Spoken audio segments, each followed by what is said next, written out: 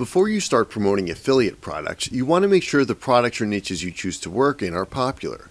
You don't want to waste your time working in niches that there aren't a lot of customers. Instead, maximize your potential revenues by only working in the best niches that have scads of customers. So, how do you find out which niches are popular? Like anything else these days, you simply use the internet.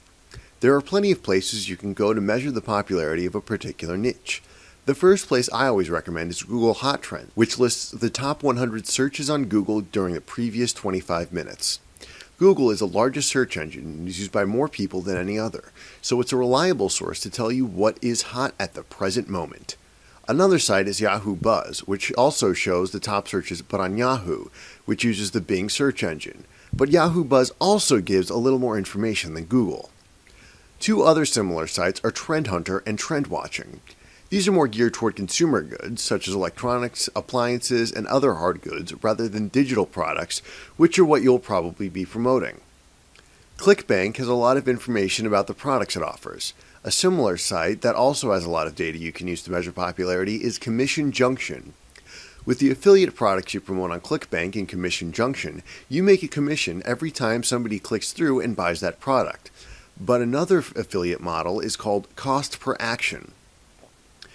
This is slightly different because you can get paid every time somebody clicks through to see a page whether they buy anything or not. Obviously, the CPA amount you're paid is usually less than that of a sales commission, but a lot of CPA click throughs can quickly add up and make you some real money. CPA networks for you to check out include PeerFly.com, ShareASale.com, GoOffers.net, and CPALead.com. If you have 100 or more people on your list and you're sending them a product per day or a couple of products per week that they're not interested in, pretty soon they're going to stop opening your emails and you aren't going to be making a lot of sales. That's why you only want to promote products that you are reasonably sure people are going to buy. When people get emails from you, or Facebook status updates, or tweets, or blog recommendations that are things they actually want and can use, then they're going to be more open to future promotions from you so you can keep selling and making money. Don't assault your prospective customers with an onslaught of products that are of marginal or no interest to them because you'll lose them.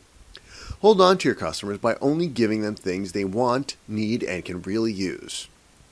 The other thing to remember is that your customers are most likely people that you don't really know. If you're only promoting products to your friends and actual acquaintances, unless you're somebody like Bill Clinton or somebody else who knows millions of people, odds are your customer base isn't going to be large enough to make real money. You can expand your influence by creating new friends and relationships with people online. You can do this by giving them things for free that they can actually use, such as links to helpful sites, free giveaways, and other things that are free. It's like the old saying goes people are only going to like you if you pay them. Pay people to like you by offering a lot of high value content for free and only occasionally asking them to buy something that you recommend that you already know they're going to want and can actually use. That means you're going to have to spend a lot of time nurturing relationships on social media or sending out emails to your ever expanding list. But that's the nature of the internet marketing business.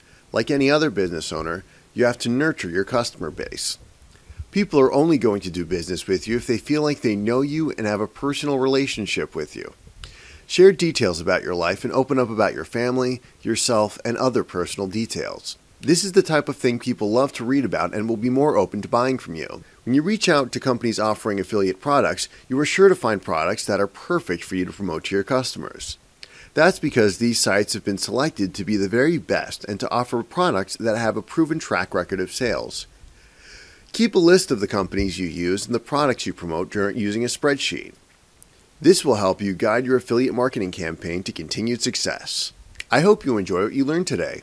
Check back weekly for updated videos and lessons, or better yet, click the subscribe button below to get more of these educational videos as they come out.